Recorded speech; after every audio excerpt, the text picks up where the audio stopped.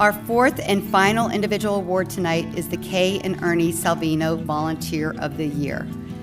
The Kay and Ernie Salvino Volunteer of the Year award was endowed by the Salvinos in 2013, and I'm excited to have both Kay and Ernie here. And feel free if you would like to come join me on the stage. You're good? Okay. Well, Kay and Ernie are back here. Kay is an alumna of the College of Health and Human Development with a degree in Individual and Family Studies. She served as the 78th president of our Alumni Association. Ernie is a graduate of Penn State's College of the Liberal Arts. In addition to both being dedicated volunteers for the Penn State Alumni Association, the Salvinos are generous across the university and the entire Penn State community. The Salvinos exemplify what it means to be proud Penn Staters, giving of their time, talent, and treasures. This award is given to a volunteer who has provided exemplary service to Penn State and the Penn State Alumni Association. It is my pleasure to announce the 2022 Kay and Ernie Salvino Volunteer of the Year Award to David Hoffman.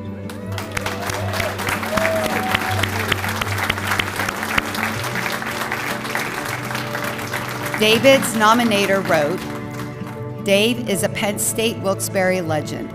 He defied the odds against him by obtaining his engineering degree as an adult student, all while raising a family with his lovely wife Dolly.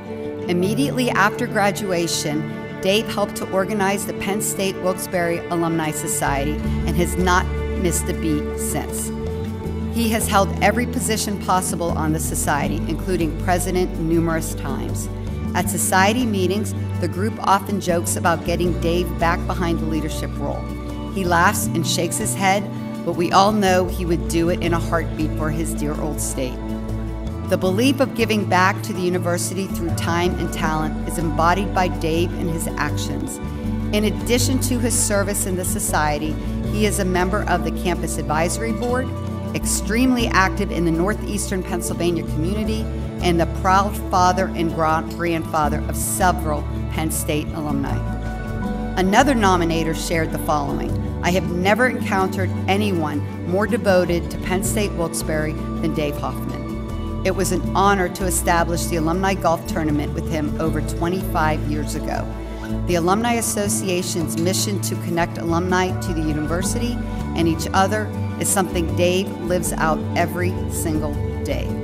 He is the epitome of a positive brand ambassador and truly bleeds blue and white.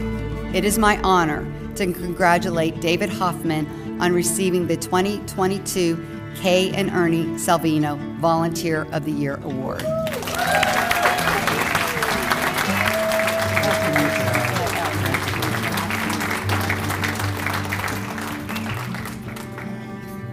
Thank you, Penn State. Thank you, Kay and Ernie Salvino.